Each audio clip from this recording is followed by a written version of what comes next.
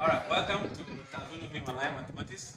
We are continuing with the tutorial we are doing on just ended WASSCE 2023 question paper. We are on question number 8, which is on quadratic graph. We have to copy this very table and complete with the values ranging from negative 3 to 3 using the equation 2x squared minus x minus 4. Meaning we need to put a value of x into in order to get what? The missing y values. And when we are done, we are going to use a scale of 2 centimeter to 1 unit on the x-axis, 2 centimeter to 2 units on the y-axis, and plot this point on the graph. Then from there, we use the graph to solve the following question. Let's get started. All right, so let's see. We know the equation is in this form. So from here, we are going to pick the values of x that is missing from the table. So now we have negative 2. So when x is negative 2, what should be the value of x? Value of y. So I'll be having 2 into bracket x value negative 2 squared minus then into bracket x value is still negative 2 minus 4. When I get to this place, we thinking because of negative, we'll be writing only 2. That will be wrong. Because the minus is not affecting the x in this case. x is a negative 2. So if you square a negative 2, you'll be having a positive 4 times 2 will give us 8. That is 4 times 2, 8. This is going to be a negative 1 times negative 2. That gives us a positive 2. Then minus 4. This will give us 10. Then we subtract 4 will give you 6. Or this minus this will be negative 2 plus 8. That will still give you what? A 6. So when x value moves to negative 1, the values of y become 2 negative 1 squared minus 1 minus 4. This is positive 1. 2 plus 1, then minus 4. This is 3 minus this negative 1 to be the value of y when x is negative 1. Then, when x becomes positive 1, y will be 2, 1 minus 1 minus 4. This will be 2 minus 1 minus 4. Right here, to have 1 minus 4, that will be negative 3. The next point to find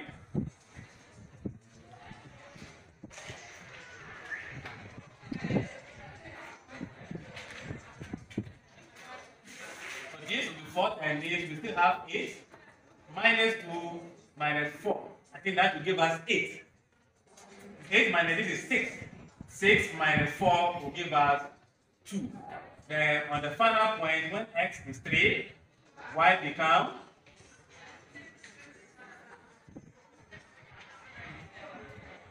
this will be 9 times this, you are going to have 18 minus 3 minus 4. 15 will be here, positive 15 minus uh, 4. That will be positive 11. Okay, so now that we have the values of missing y coordinates, let's put in it here. And for a negative 2, we'll be having 6. For a negative 1, our answer will still be a negative 1. For a positive 1, we have a negative 3. 2 will give us 2. Then 3 will give us 11. Meaning on our graph, we are going to use this pair or ordered pairs in plotting the graph. So let's see how that will look on the graph paper.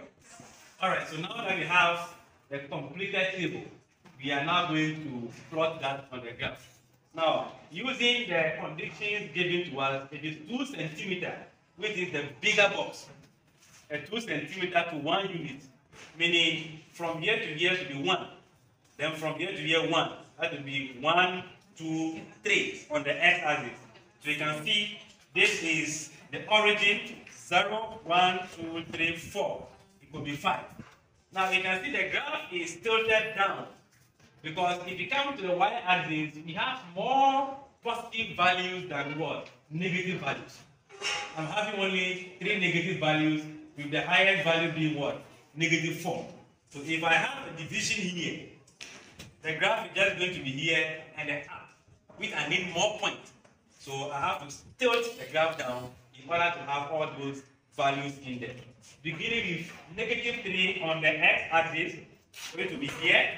That will give us a 17 on the y-axis. We know 16, 17. Then we have the negative 3 here.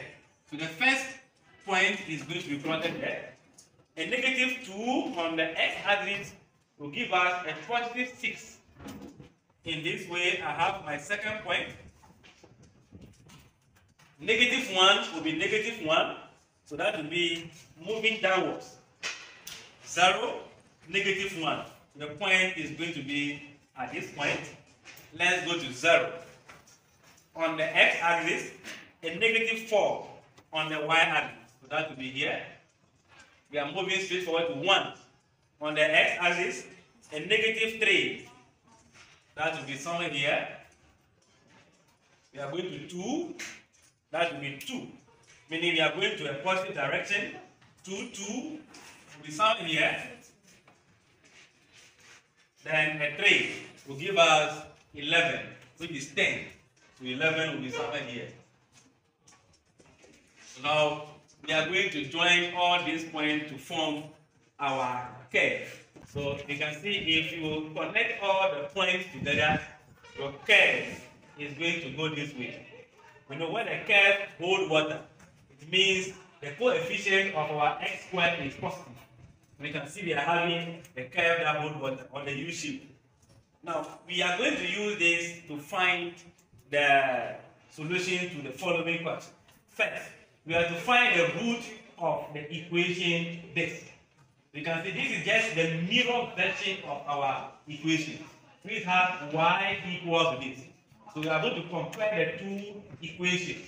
If I have y equals to 2x squared minus x minus 4, and I have this equation which I can decide to put 0 first before 2x squared minus x minus 4.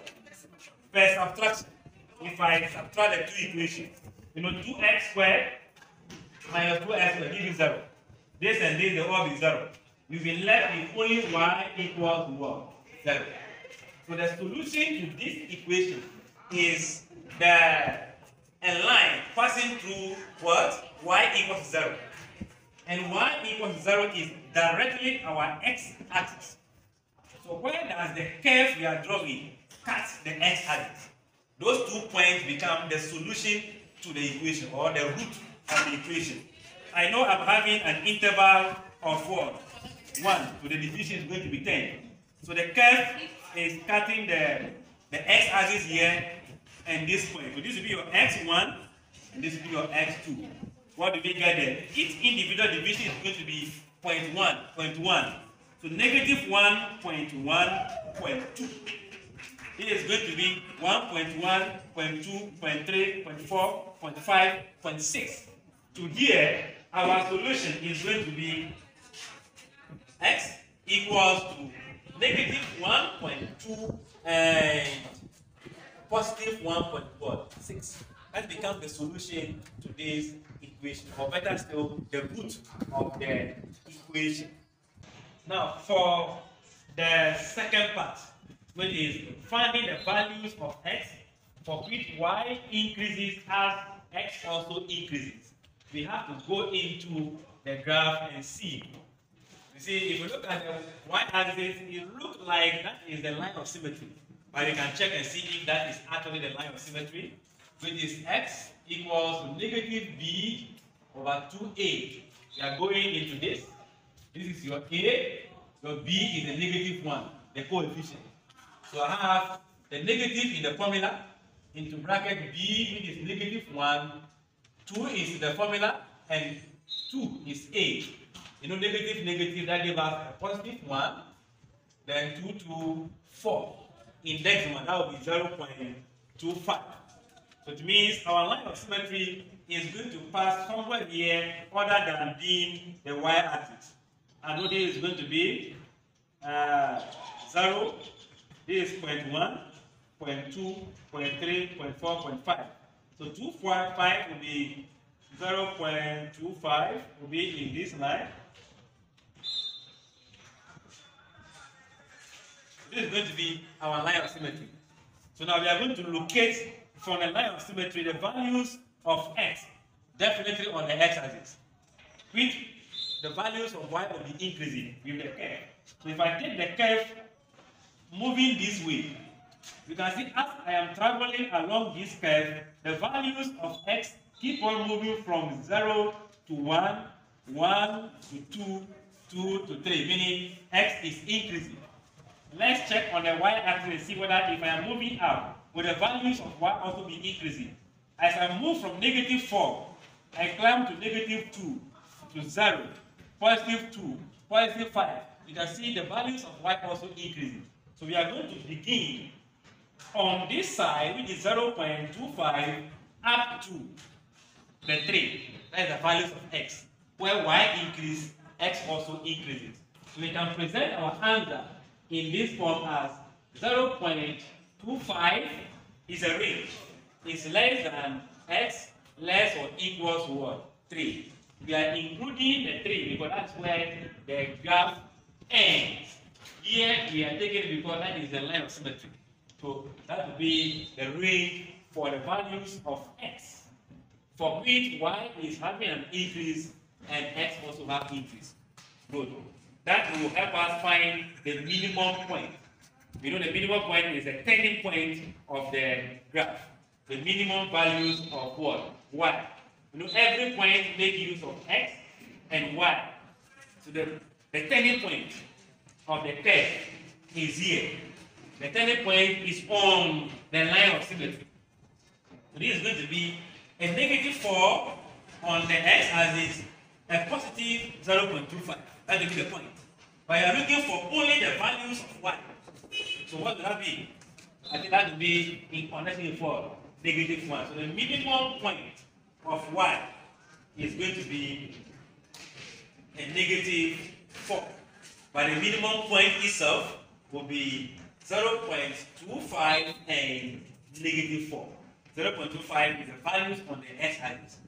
I believe uh, we have exhausted all the questions using the graph. Any question in this form can be followed the same approach. First, finding the values in the table, constructing your table as a drawing the table, then use the graph to find the other questions. I believe if this is clear for you, try to share with your learning mates, anybody on your contact that will need this kind of tutorial, and let them subscribe, comment, and share. Bye.